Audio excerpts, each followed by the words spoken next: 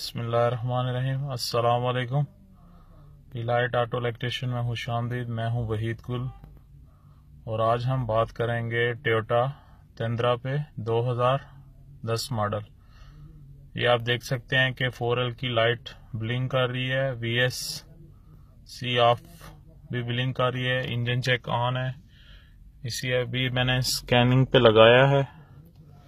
तो ये देख सकते हैं कि आपने इसके सामने कोड आ गए हैं। Secondary air injection system switching valve secondary air injection system air flu pressure sensor circuit है हाई बैंक वन ठीक है, ये इसके डीटीसी हैं। और ये निशान टोयोटा टेंड्रा है 2010 मॉडल और कस्टमर की ये कंप्लेन है कि ये लाइटें ऑन है और इसका आरपीएम चार से ऊपर नहीं जाता इस गाड़ी का। तो मैं अभी इसकी रिपेयरिंग करूँगा इनशाला ताला। और रिपेयरिंग करने के बाद फिर आपको बताऊँगा कि इस गाड़ी में क्या फॉल्ट था। और उसके अलावा ये जो ये जो सेकेंडरी एयर इंजेक्शन सिस्टम है, ये कैसे काम करता है, इसके मतलब इसके रिलेटेड जो चीज़ें हैं, वो किस किस जगह पे फिटिंग है, कैसे फिटिंग है, उनका क्या काम है, ये भी मैं सारा कुछ आपको बताऊँगा। ये बहुत इंपॉर्टेंट वीडियो है, बहुत ही नॉलेजफुल वीडियो है इसलिए इसे ज़रूर देखें। तो अभी मैं इधर वीडियो को स्टॉप करूँगा। इसकी रिपेयरिंग के बाद फिर मैं नेक्स्ट आपको अपडेट करूँगा इन ताला।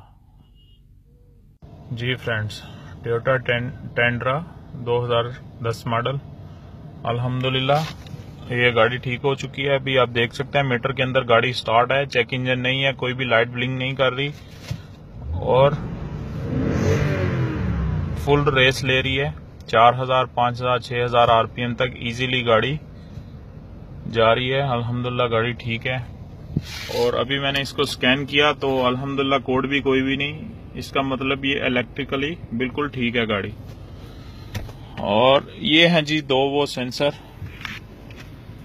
air flow pressure sensor ठीक है। ये इंटेक के नीचे आते हैं, ये दोनों सेंसर ठीक है, एक सेंसर जो है ये बैंक टू का है, ये है जो है ये बैंक वन का है।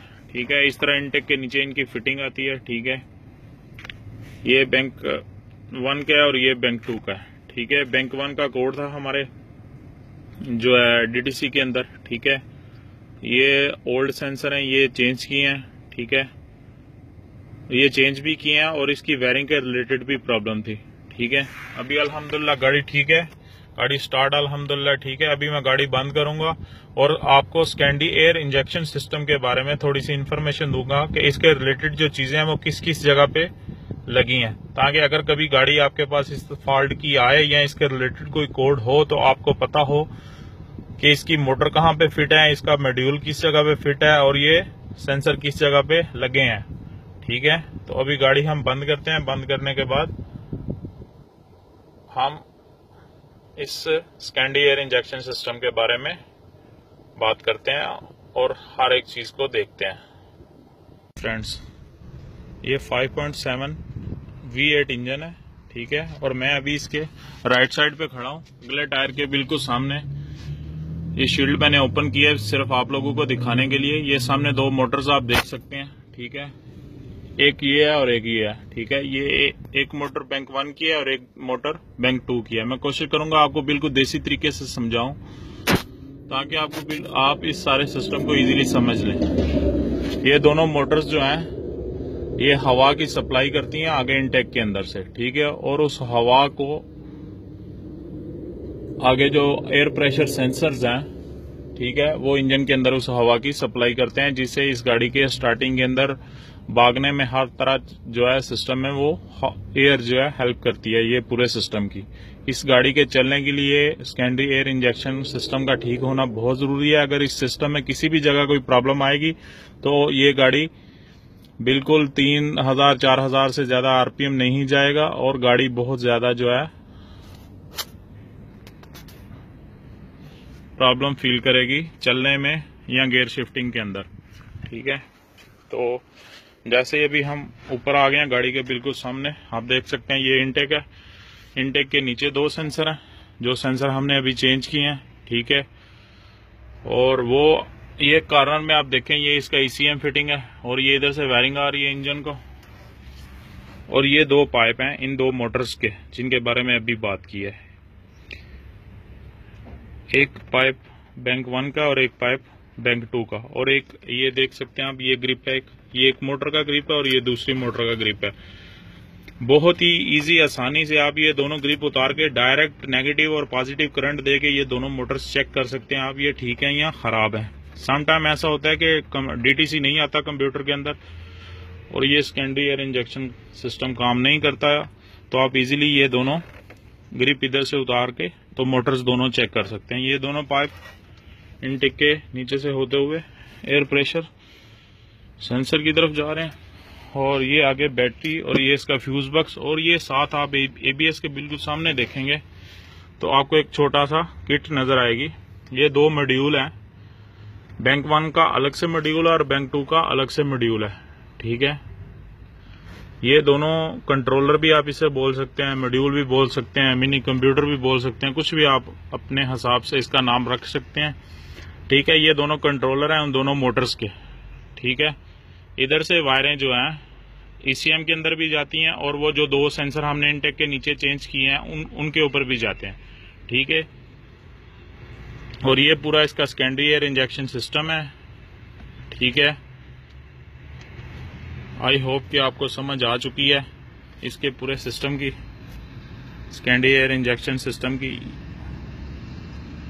जी फ्रेंड्स वीडियो के एंड के ऊपर हम बात करेंगे एयर इंजेक्शन सिस्टम के कनेक्शन के बारे में, यानी इसकी वायरिंग के बारे में, जिसका पता होना बहुत ज़रूरी है कि कौन सी वायर किस चीज़ की है और इस वायर के अंदर क्या आता है। पाँच वोल्ट आते हैं, बारह वोल्ट आते हैं, या ये सिग्नल वायर है और ये किस जगह पे जाती है और कहाँ से आती है। अगर आपको वायरिंग के रिलेटेड इन्फॉर्मेशन नहीं और गाड़ी के अंदर वायरिंग के रिलेटेड कोई प्रॉब्लम है तो आप कभी भी उस फॉल्ट को ठीक नहीं कर सकते। ठीक है? तो ये आपके सामने एयर इंजेक्शन सेंसर जो आज गाड़ी के चेंज किए हैं मैंने। ठीक है? और ये एक ग्रिप मैंने एक वायरिंग से काट के तो ये आपको बताने के लिए साथ लगाया मैंने। तो इसकी हर सेंसर की दोनों तरफ़ पाँच पाँच वायर हैं। बैंक वन की पाँच वायर और बैंक टू की पाँच वायर तो अभी ये मेरे सामने बैंक वन का सेंसर है, ये ग्रिप लगा हुआ है। इसके साथ सब सबसे जो पहली वायर है, ये वाली आप देख सकते हैं व्हाइट वायर और इसके अंदर ब्लैक लाइन है। ये इसकी अर्थ है नेगेटिव वायर है, ठीक है। इसके सेकंड जो वायर है, ये ब्लू कलर की, ठीक है। इसके अंदर पाँच वोल्ट है, ठीक है। इसके अंदर पाँच वोल्ट है। और ये पाँच वोल्ट डायरेक्ट कंप्यूटर के ईसीएम का जो छोटा ग्रिप है, उधर से पाँच वोल्ट इसे सीधा इधर, इस सेंसर के ऊपर आ रहे हैं, ठीक है? दो वायर होगी। इसके आगे जो, ये जो दो वायर है ना, एक ब्लू में व्हाइट लाइन और एक ब्राउन ये इसकी दो ईसीएम की वायर है। यानी ये दोनों वायर बिल्कुल सीधा ईसीएम पे जाती हैं, ठीक है? ईसीएम पे जाती हैं। और ये इसकी जो लास्ट वायर है ब्लैक कलर की आप देख सकते हैं, ये इसके आठ वोल्ट है। और ये आठ वोल्ट इसे मिलते हैं जो कंट्रोलर जिसके बारे में वीडियो के मिड में आई थिंक मैंने बात की थी कि एबीएस सेंसर के सामने लगा ये आ, इसका कंट्रोलर इसकी जो ब्लैक वायर है ये वाली इसमें आठ वोल्ट उस कंट्रोलर से आते हैं।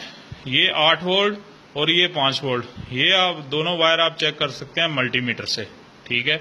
मल्टीमीटर के बगैर इसकी चेकिंग ना करें। देसी टेस्टर के साथ गाड़ियों का काम ना करें ठीक है? तो आई होप आपको ये, इसके कनेक्शन की भी समझ आ गई है। मैं एक दफ़ा फिर रिपीट कर देता हूँ। पहली वायर अर्थ की है, इसके साथ बिल्कुल पाँच वोल्ट है। उसके बाद दो वायर ये सीधी ईसीएम पे जाती है और एक वायर जो है, ये आठ वोल्ट की है, जो कि इसके कंट्रोलर से आती है वायर ठीक है? तो सेम इसी तरह कनेक्शन इस साइड के साइड पे भी है। ठीक है? ये air pressure secondary secondary air pressure sensor है, जो दोनों इनटेक के नीचे आते हैं। ठीक है?